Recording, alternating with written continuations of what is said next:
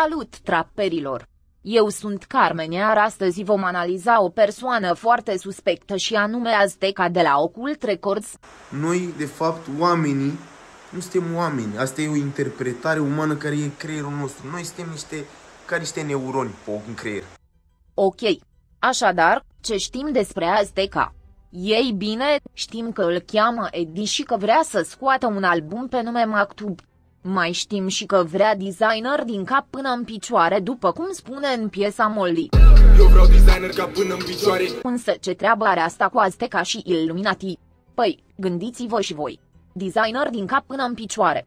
Designer. Designer este un mumble rapper. Mumble rapper. Știți cine mai este un mumble rapper? Exact. Maricica. Vine din Africa sau din vreo țară caldă, are 40 de grade că și nu e boladă, e vara mea. Dar cine este Maricica și ce treabă are ea cu Azteca? Nu văd nicio legătură, așa că să trecem mai departe. La ce ne gândim când auzim numele Azteca? Păi e simplu.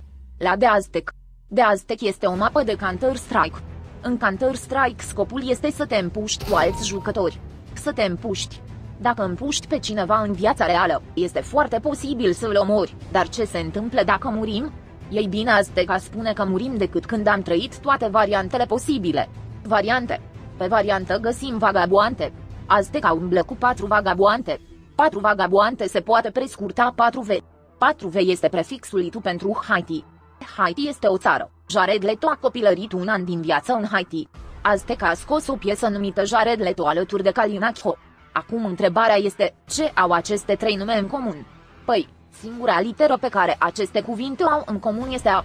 Dacă le luăm după poziția numerică în cuvânt, obținem numărul 122. 122 este numărul de urgență din Egipt. În Egipt găsim piramide.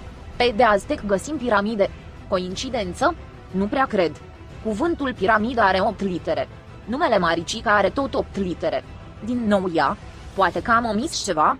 Haideți să analizăm alt videoclip cu Maricica. Ce faci, Eddie? Te-ai supărat sau ești gelos? Eu bine zic gelos. Va da fac? Să însemne asta că Maricica îl cunoaște pe Azteca? Și de ce este Eddie gelos? Stați o secundă. Userneimul lui Azteca de Instagram. Dacă transformăm Aztegramul în cifre și le adunăm obținem numărul de urgență din România. Vă mai aduceți aminte de Haiti și de Egipt? Dacă triangulăm pe harta aceste trei țări, în mijlocul triunghiului apar insulele Canare.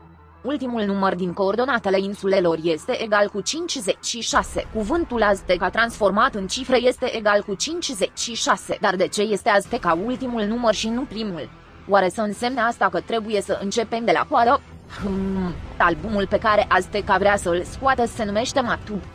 Dacă citim Maktub invers, obținem cuvântul ocult, cu siguranță face referire la Occult Records din care face parte și Ian care am demonstrat că este membru Illuminati, printr-un simplu calcul matematic. Dacă Ian face parte din Illuminati ne rezultă că și Azteca face parte din Illuminati.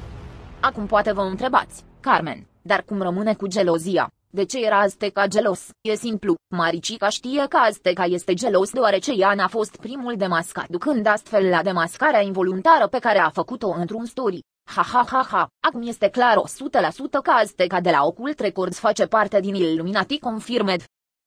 Creierul nostru.